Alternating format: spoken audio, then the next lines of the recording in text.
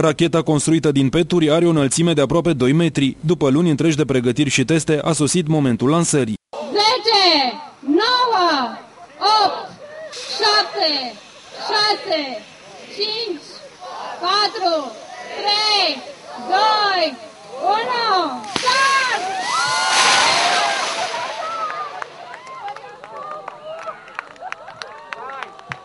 Încă din clasa 9, când a început liceul, Florin Oprișiu a avut ambiția de a construi o rachetă. Anul trecut s-a pus pe treabă și după 12 luni a reușit să arate profesorilor și colegilor de ce este în stare. Uh, scopul meu a fost de a realiza o rachetă cu apă, prin mijloacele care, de care dispun.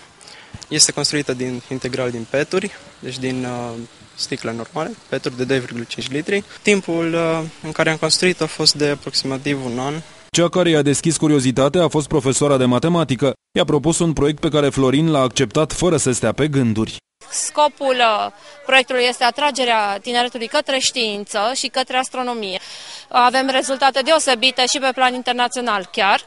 Elevul a fost uh, la început împins de mine și treptat și-a, și-a descoperit pasiunea către astronomie și a perfecționat. A fost un băiat ambițios.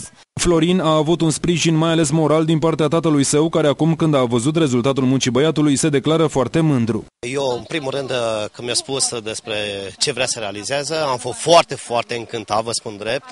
Eu l-am ajutat cel puțin numai cu sfatul. Am vrut să văd ce iasă din mâna lui. Totul s-a făcut manual, nu a folosit nici scule să zici că folosește ceva utilaje performante sau așa, nu.